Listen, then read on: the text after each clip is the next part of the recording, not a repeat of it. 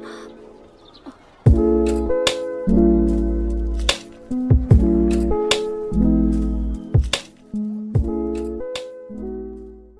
guys, it's me Kate D and welcome back to another makeup vlog. So for today's video, mag-get unready with me, ako, and I will show you my night routine.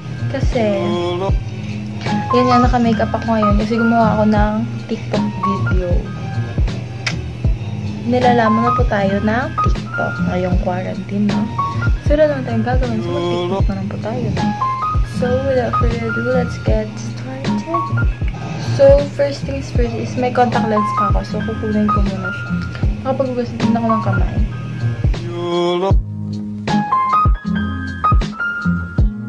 So, next is kapag gumagamit ako ng matte lipstick, ng, nilalagyan ko siya muna ng lip balm para mas ewan, pero ang easy kasi kunin yung matte na lipstick kapag nilalagyan siya muna nito. So,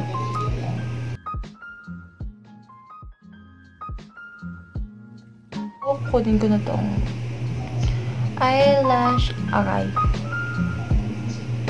And next is, magwa-wipes na ako. So, nagwa-wipes muna ako bago ako maghilamos. Para mas makuha talaga yung makeup. So, teka lang, bibihis muna ako ng, ng t-shirt na komportable kasi kapag natutulog ako, sumuso talaga ako ng komportableng damit. Mga oversized shirt. Yan, wait lang. Na ako na maluwag na t-shirt. So, ito na yung isang wipes. At kukunin ko muna yung mga makeup sa mukha ko bago ako magilamos.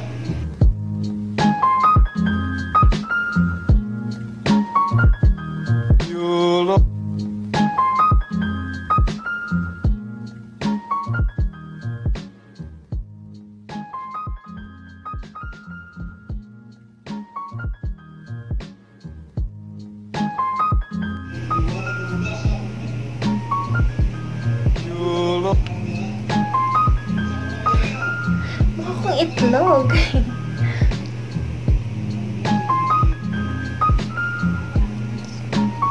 oh my goodness. See that? That's why you should remove your makeup before you sleep.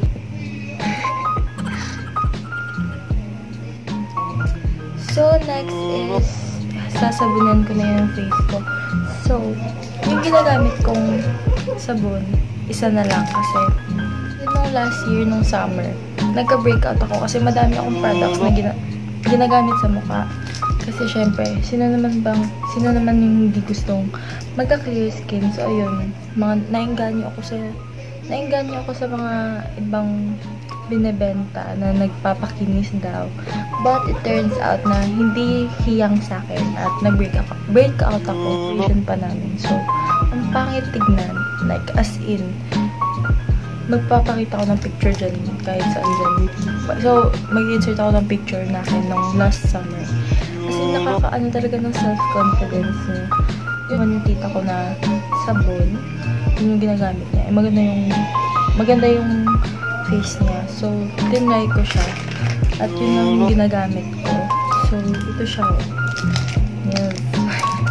Hinahati namin siya sa apat. Sa mga maliliit na piraso kasi madali siyang matunaw at yun nga. Para mas matagal mo siyang magamit. So, ito, ito lang yung ginagamit ko. And so far, hindi naman siya ganun ka-perfect. Pero at least, yung mga pimple marks ko at na-lessen na din yung pimples ko. Ganun. So, wait. I'll be back. So, yes guys, nakapagilamos na ako. Thing is, nagmo-moisturizer ako. So, ito yung ginagamit ko. So, familiar na to kasi every video ko, ito talaga yung ginagamit kong moisturizer. So,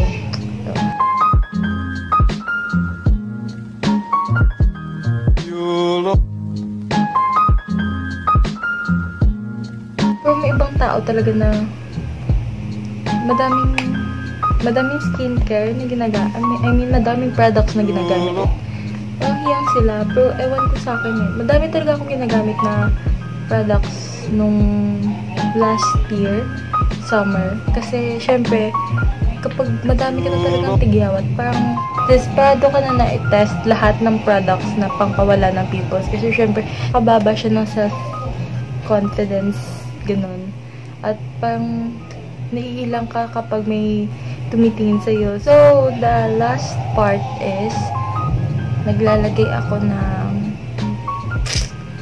petroleum jelly sa lips kasi dry yung lips ko at gusto ko siyang ma ma-moisturize. So, ito yung ginagamit namin ng kapatid ko. Yes, guys, ganun yung, so, yun yung parating routine ko every night before ako matulog. And, hindi siya ganun ka, ano talaga. So, I hope you like this video. And if you do, please give it a thumbs up and subscribe to my YouTube channel if you haven't subscribed yet. See you again in the next video. Bye. Keep safe.